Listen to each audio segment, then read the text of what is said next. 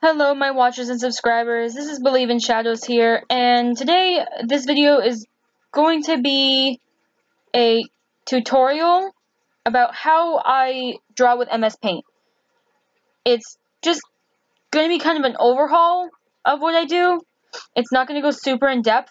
I plan on making more videos more in depth later about specifics if people seem to like this video here, but that's for another day.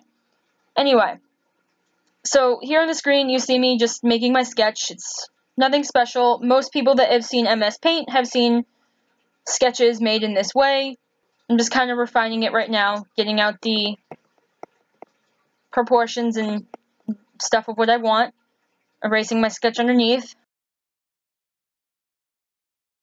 And then here, I start thinking about colors. Originally I was going to do brown, but I figured that gray instead would be better for the tutorial because it's really easy for people to see the shading. And then my method of shading here is I pick the color I want and then I pick a dark and a light version of it. And then I use the um, eyedropper to smooth things out, essentially. And my weapon of choice with painting is the pencil tool. I find the pencil tool to be most useful when like refining a painting. The crayon tool is another one I use for blocking in colors because it's large and it's smooth ish, smooth-ish. But when it comes to refining and doing the details and doing the bulk of the painting, I find the pencil tool to be the best out of all of them um, because it's the smallest and most malleable, if that makes sense.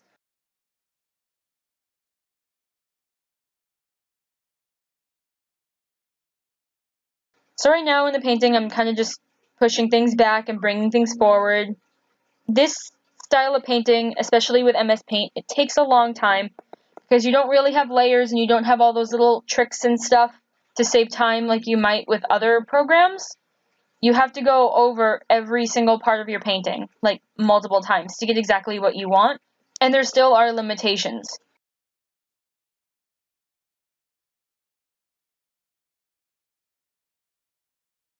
The bigger the canvas, the better your picture will be, in a relative sense. If you're painting in this style, you can see that, well, you'll see in a minute that I shrink the size down. It's about 500 pixels for the headshot. So if you're doing like a full body, you'd need like a thousand or more.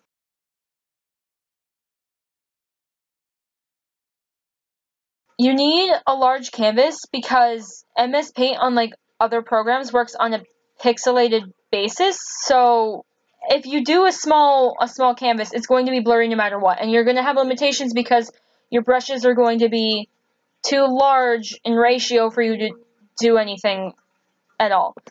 So the bigger you make your canvas, the more control you have, if that makes sense. Um, I actually wish that I made this canvas bigger. Um, I don't really do fur on the main bulk of it because I wanted to just be really basic with this, but I do do some fur soon. Um, you'll see in, inside of the ear. And you can tell that the smallest brush I have is, is, is still quite big, and it's because I wasn't smart and I didn't make the canvas big enough. This is kind of like the smallest I would go, in my opinion, for a painting like this.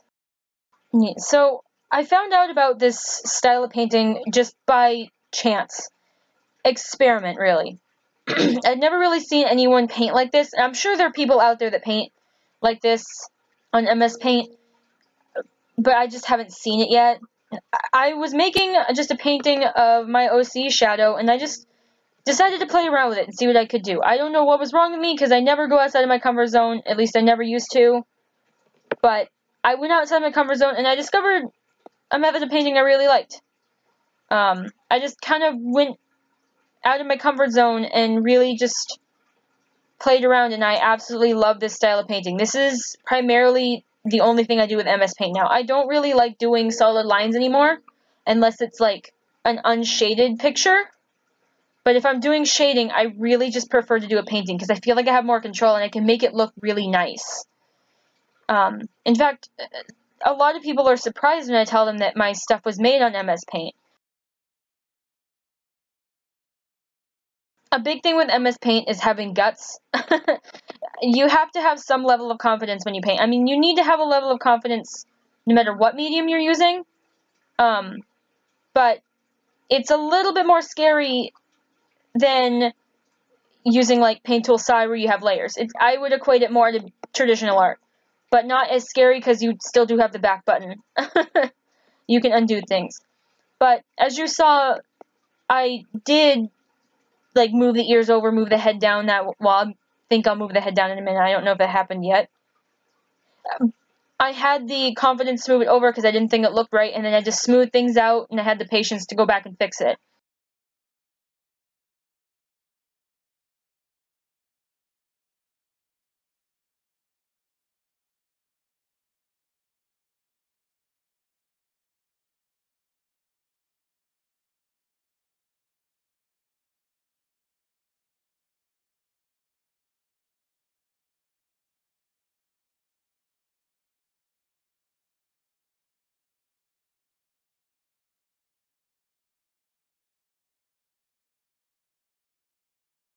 And you can see here, I, I take a lot of time too in playing with the eyes.